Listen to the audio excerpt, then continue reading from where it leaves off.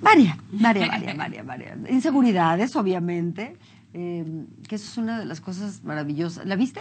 Sí, no, no, no la vi. Uy, pero la voy a ver. la tienes que ver.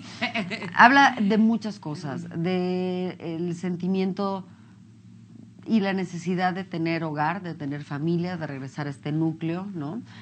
De contar con amigos. Eh, eh, específicamente Destiny, pues es un tiburón ballena, es uno de los animales más grandes del mar. Es vegetariana pero tiene este problema de que es corta de vista, entonces tiene ciertas debilidades que le dan mucha inseguridad, ¿sabes? Y, y que a veces la gente en la vida así somos. Cuando de repente puedes darte la oportunidad de estar en otro lugar donde estas debilidades se vuelven fortalezas y en realidad incluso llegan a ser menores a todas las maravillas que tienes alrededor.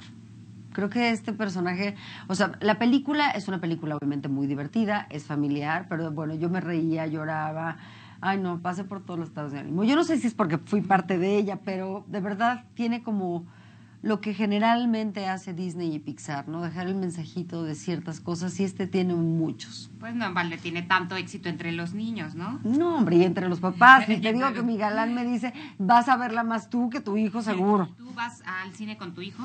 Yo voy al cine con mi hijo, yo voy a clases de apreciación de la música, yo voy a donde se pueda con León. Comes palomitas. todo. Yo como todo, yo como todo, pobrecito, creo que le va a sacar ese pequeño defectito. No, pero está bien. O sea que estás disfrutando la vida de otra manera. Ay, sí. Porque creces con su No, inocencia. estoy creciendo, o sea, de otra Ajá. manera. Ahora ya lavo ropa, cocino, cambio pañales, me despierto muy temprano, me duermo a la hora que él decide. La gente no se pierda la película y vaya a verla. No, vengan a verla, de verdad, se la van a pasar muy bien.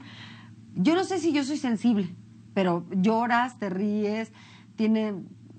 Véanla, 15 de julio en todos los cines, ya nos verán. Pues muchas gracias. Gracias Silvia. a ti, mamacita, muchas gracias. Igualmente, Gracias. y se rejuveneció la otra. Hoy es el día. El viaje de campo, la migración de mantarrayas. Migración de mantarrayas. Ay, está preciosa la película, la Sí. tienen que ver. Pero en bueno, tercera fíjense que por dimensión. cierto, Silvia Navarro ya se quedó, ya firmó para quedarse como la candidata con Giselle González, que es la próxima telenovela que hace. Mm, qué padre. Entonces, yo ya se los había contado porque ayer, antier estaba firmando el contrato, pero este, ya, ya me dijeron, sí, sí, ya firmó, ya.